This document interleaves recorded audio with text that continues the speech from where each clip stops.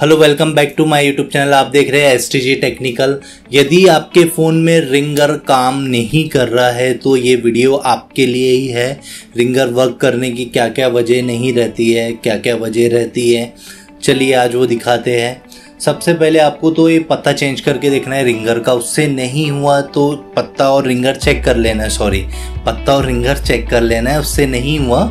तो ही ये step follow कीजिएगा, आप आगे की अदरवाइज़ नहीं कीजिएगा, अगर आपने अभी तक के चेंज करके देखा नहीं होगा तो। ठीक है?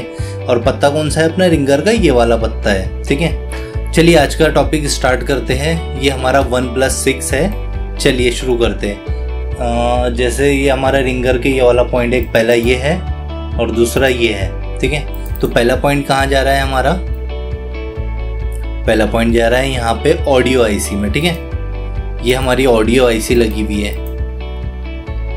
ऑडियो आईसी एक और ये भी लगी हुई है और एक दूसरी ये कंट्रोलर आईसी है जो साउंड ज़्यादा एम्पलीफाई करके देती है और ये ऑडियो जी वाली आईसी जो है, ये सभी तरफ़ भेजती है C P O air speaker ringer यानी सभी को मैनेज करती है ये आईसी ये कंट्रोलर है और ये एम्पलीफायर आईसी है, ठीक है? चलिए, एक पॉइंट हमारा ये आ गया रिंगर का। आपको यहाँ से सप्लाई कहाँ चेक करने हैं?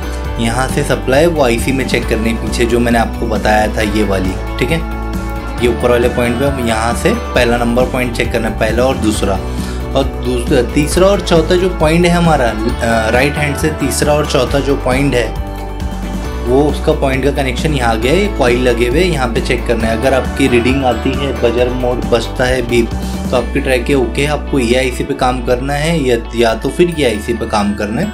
वो आपको बोर्ड देख के चेक करके ही समझ आएगा। वो मुझे, मैं आपको ऐसा डायग्राम के थ्रू बता नहीं सकता हूँ। चलिए इसी तरीके से हमारा यूट्यूब चैनल देखने के लिए चैनल ज़रूर सब्सक्राइब कीजिए और साथ ही साथ बेल आइकन ज़रूर दबाइए।